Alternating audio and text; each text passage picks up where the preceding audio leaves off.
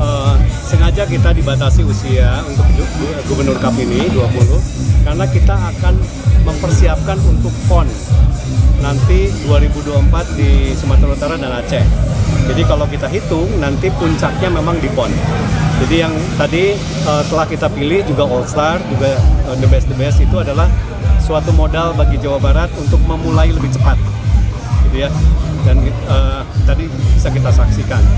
Nah, tetapi untuk menuju ke PON itu ada berbagai tingkatan kejuaraan juga, yaitu Porprov kita. Jadi ini sebagai uji coba di mana nanti Porprov pasti akan lebih besar lagi, gitu ya, di akhir tahun ini. Lalu setelah itu kita pastinya akan ada platda untuk mempersiapkan ke uh, PON tersebut. Nah, oleh karena itu kalau kita lihat tahapannya yang dilakukan oleh Dispora dan juga KONI Jawa Barat itu sudah tahapan-tahapan yang uh, betul-betul kita persiapkan dengan matang agar kejayaan softball khususnya bagi putra maupun putri dan juga bisbol kita bisa raih lagi untuk Jawa Barat. Kurang lebih gitu. Pak, Bapak sebagai mantan atlet softball juga ada tips atau gimana Pak untuk Jawa Barat di PON dapat uh, emas lagi ada strategi?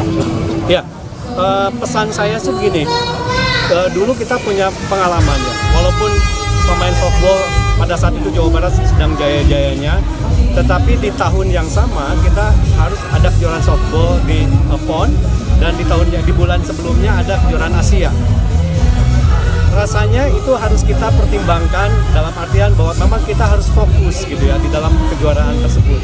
Jadi kalau kita menyiapkan untuk PON, mayoritas atlet untuk PON itu harus dipersiapkan memang untuk PON. Jadi jangan dicabangkan lagi misalnya nanti untuk kejuaraan Asia, kemudian kejuaraan ASEAN atau kejuaraan dunia, kemudian digabung untuk jadi PON di dalam waktu yang sama.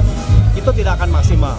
Jadi saya sih berpesan nanti bahwa kita benar-benar fokus yang untuk PON ini disiapkan timnya yang betul.